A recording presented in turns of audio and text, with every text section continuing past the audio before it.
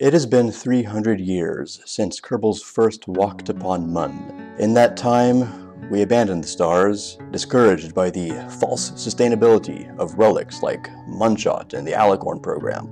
All that changed 63 years ago. Our wake-up call came in the form of a devastating asteroid impact. The crater, so large it can only be seen from orbit, serves as a reminder to any who would doubt the need to understand the universe.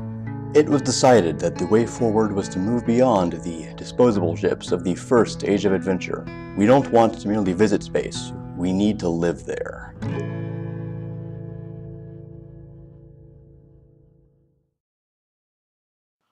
This ship, the Horizon Walker, was designed to meet this mandate. It is a true ship of space. It was built in orbit. It's designed to never return to the surface of any planet, and it is designed to live as long as necessary. It has an indefinite life cycle. This is accomplished by using great modularity. Every bit of this can be refitted, repaired, swapped out if necessary, if better, if better technology or designs come along. But the ship itself will have continuity. It'll be the same ship, just with different pieces. The construction started here with the uh, propulsion module, this bit in front. That's four ion engines, a number of solar panels, and some radiothermal generators as emergency support in case all else fails. Construction then continued, let's move over here, with this, the command module, this middle bit in front. And here we have a lot of RCS fuel for maneuvering.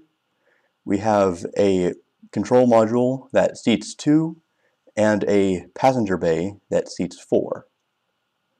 Next, this science module was added. This is a detachable element that can re-enter a planet's atmosphere and collect data for, for, for further study.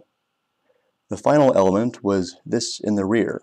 This is a booster module. This is because ion engines, while very efficient, have a very weak kick, especially with a craft this large. So this is a this is a nuclear NERVA drive and enough fuel that should get us to our destination. We'll be stopping with the ion drives probably, but that's okay because stopping isn't quite so time intensive. Now let's see if we can't get back on board the ship. Where did I put my ladders?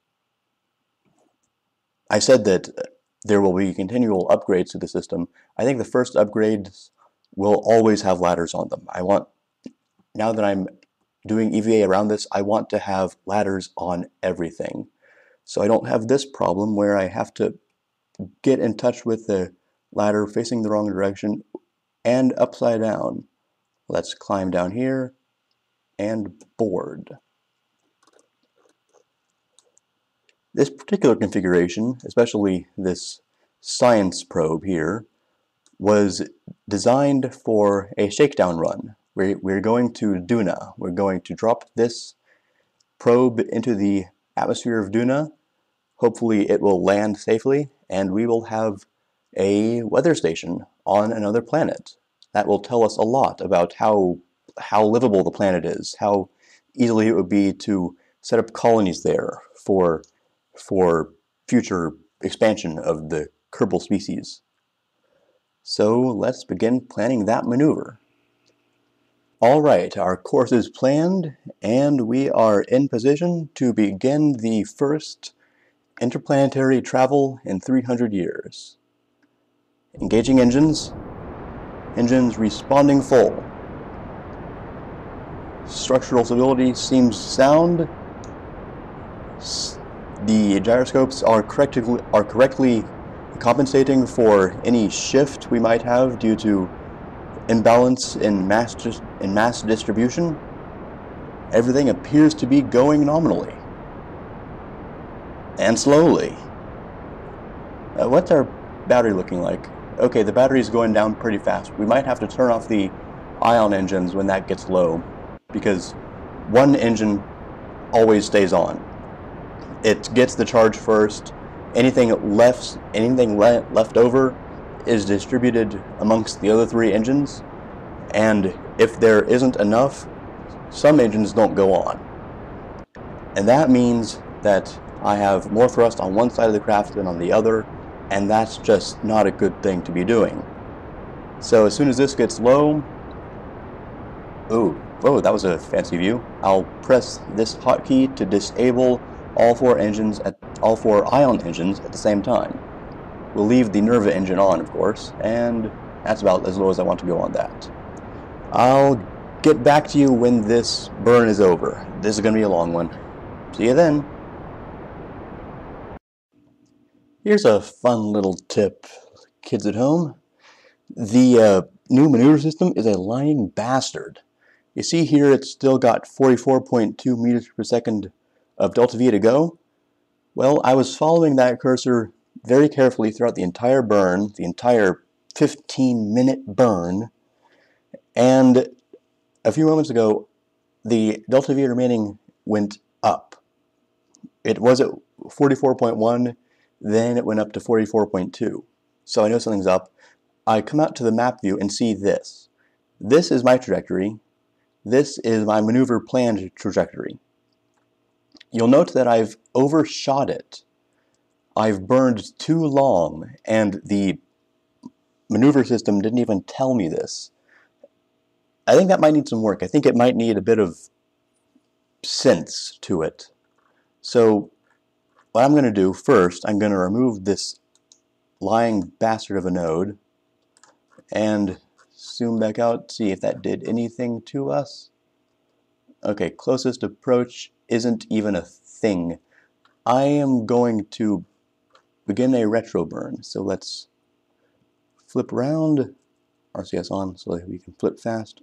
Oh, frame rate is chugging. I'm getting like I'm getting 12, 13 frames per second. This is a very large ship. I might have to lower my graphical settings later on. Especially with the RCS, that's a lot of that's a lot of math to do, I think. A lot of math to do very quickly. And, oh, well, without the RCS, I can't even kind of steer this thing. It's such a big craft. D design suggestions are welcome. If anyone has an idea how I can do this better, please tell me, because this is kind of wonky. Okay, now let's open that up and let's do this the old-fashioned way. Let's begin our burn. And that's better. Sometimes the old-fashioned way really is the best. That did use up a lot of fuel. We're pretty low now, but that doesn't matter. We've got a lot of xenon gas left. We can go where we like. It'll just take a while. But we've got our intercept course for Duna, and let's get going, shan't we?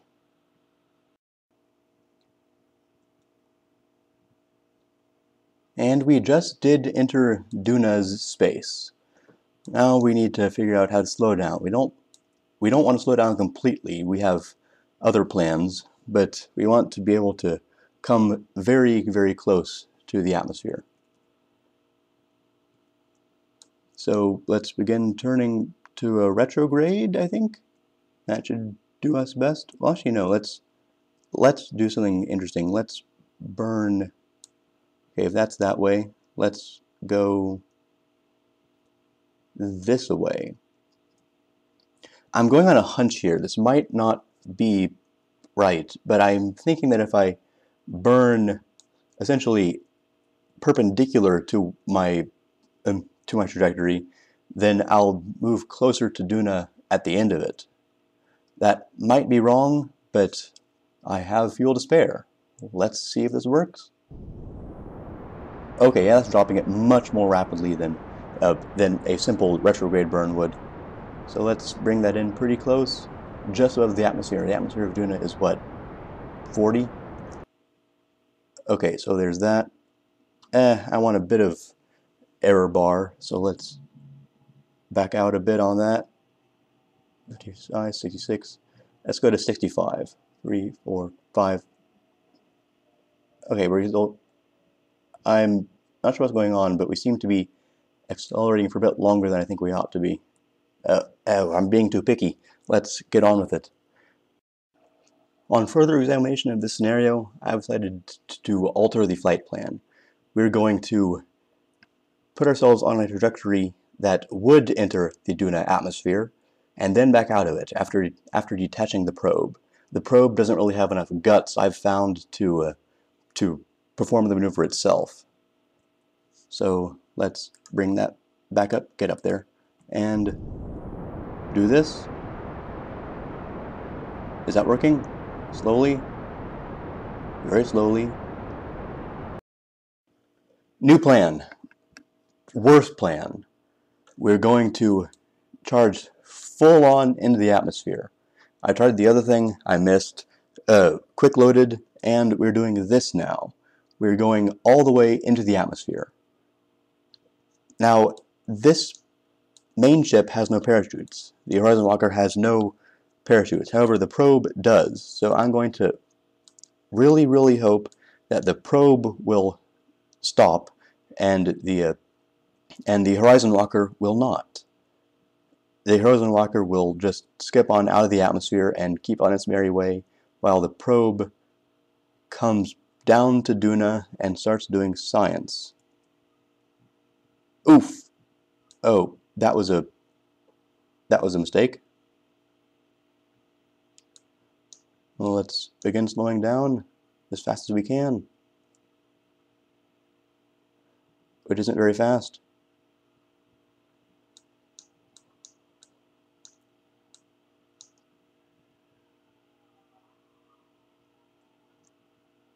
I'm kind of worried now. I, this craft took me all of yesterday to put together, and a bit of today to put together, actually, but I might just burn it up in one really stupid idea, which makes me sad, really. Oh, is that police or an ambulance or what? I don't know. The alarming tone is appropriate, I suppose. Barometer. There's an atmosphere here.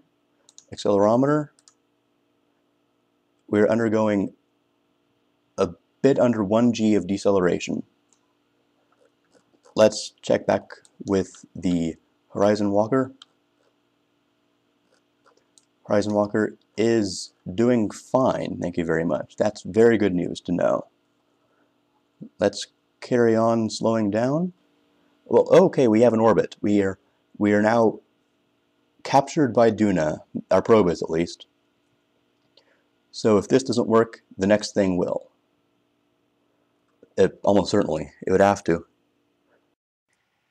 Now, let's try this again. We're on our second pass around. We just did enter Duna atmosphere, and we are just now about to begin slowing down via RCS again. I am a bit worried about the impact on this because my main stopping force is going to be from parachutes, and of course parachutes don't work so well on Duna. So I'm going to do everything I can to slow down before the parachutes deploy. Everything I can in this case being very, very little.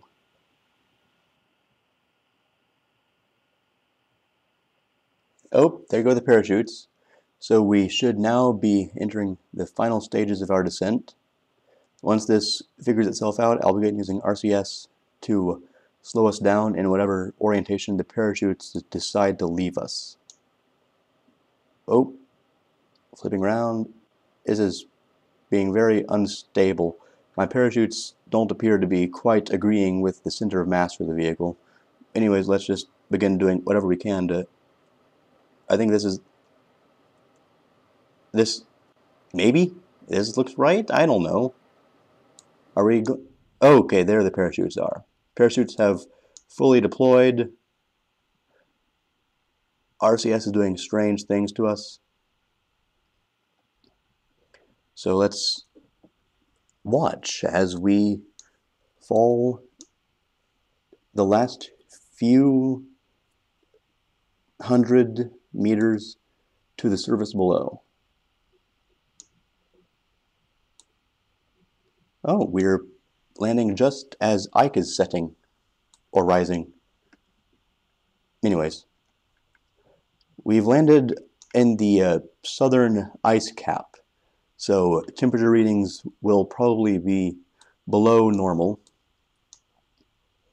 but we can deposit another one of these elsewhere on Duna later for comparison. And we've landed. Okay, let's roll round. On second thought, let's not roll round. And, okay, there we are. Let's take some readings. Negative 31.86 degrees, 0.3 g of acceleration. Pressure is 0.0735 somethings. The unit of measure wasn't given. And gravioli readings suggest a downward acceleration of 2.89 meters per second per second. This is a lot of very valuable data. This will help a lot when building future colonies. Now, I don't know about you, but I'm tired. Let's leave bringing home Horizon Walker for next time, but let's take one last look at her before we leave. Switch over. Loading, loading, loading, loaded. Ah, yes. I hope this works. I really have high hopes for this for this series, this series of missions. It's a really romantic idea, sort of, this sort of Star Trekky five-year mission thing. I don't know if it'll work. I don't know if this really has enough guts to it to work. It might just be too big, because right now, my frame rate is gutted.